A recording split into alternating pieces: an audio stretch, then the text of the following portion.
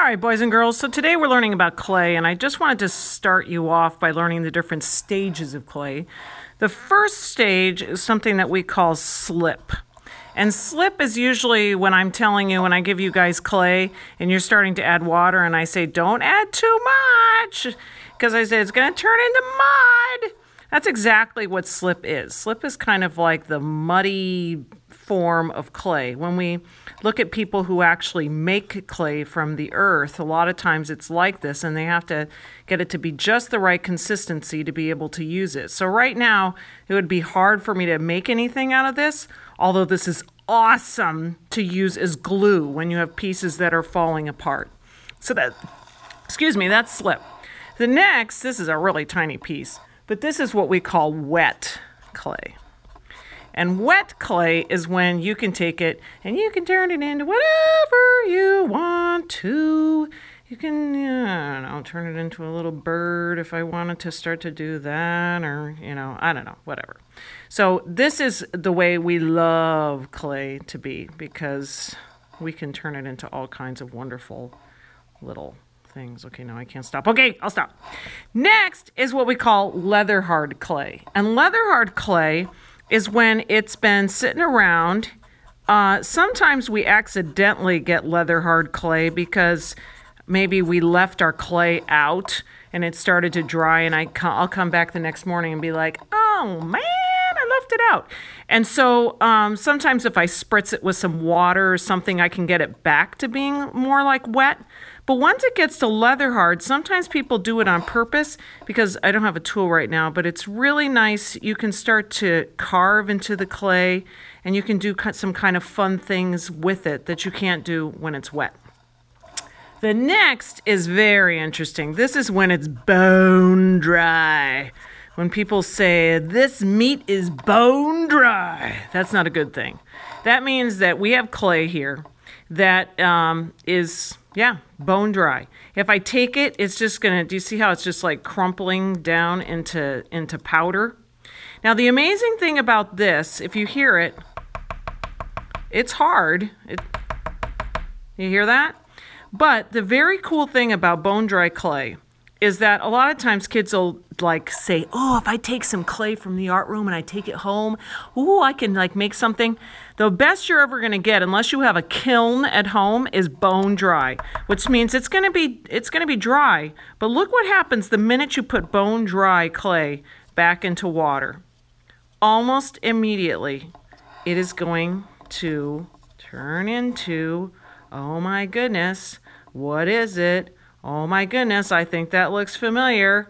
That looks a lot like whack, slip. It turns bait, it goes right back into slip. Do you see how my fingers are getting all muddy? And this was just from taking bone dry clay. You kind of think to yourself, oh no, you know, it's, it's going to stay hard. No, well, if you get it wet, or like if you tried, if you made a cute little bowl out of bone dry clay and then you filled it up with water, in about three minutes, you would be have a bowl full of lovely mud. Wouldn't that be wonderful? So let me clean my fingers and get rid of my bone dry clay. I'll pull it out there. He's like, why did you do that? The next one is this is where things get interesting. This is where you need either fire or you need a kiln. A lot of times when people hear me say the word kiln, they think I'm saying kill or kiln. This is how we say the word kiln. It has an N on the end of it.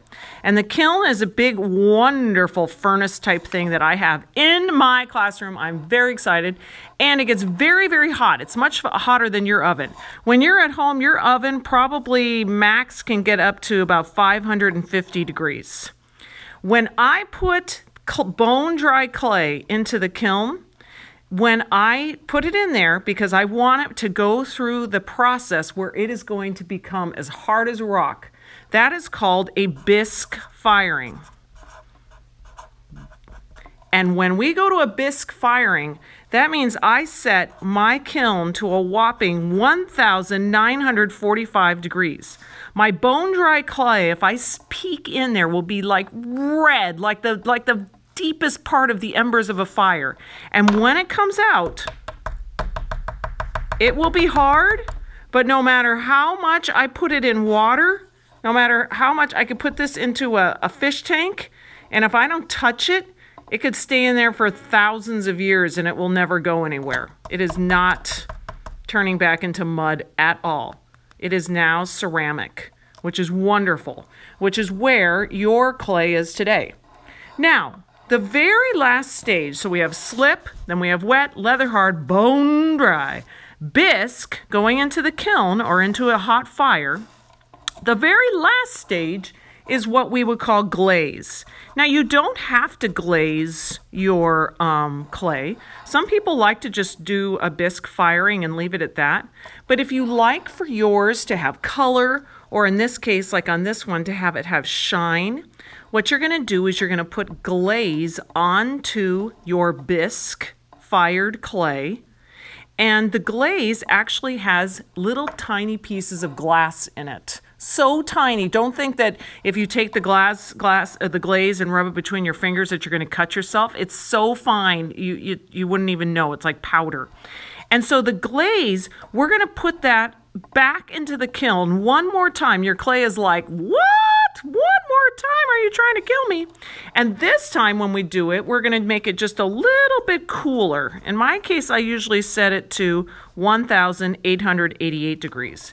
And after brushing on the color and then brushing on that, that powdery glass, the glass just melts on top of that bisque. And before I know it, when it comes out and it's super hot and I let it cool, I now have a shiny exterior to my clay. So these are the steps. And today, lucky you, you are going to be receiving bisque and you are going to be applying glaze and then I will be putting it into the kiln one more time to have a glaze firing so it will be nice and shiny. And that's the way it works.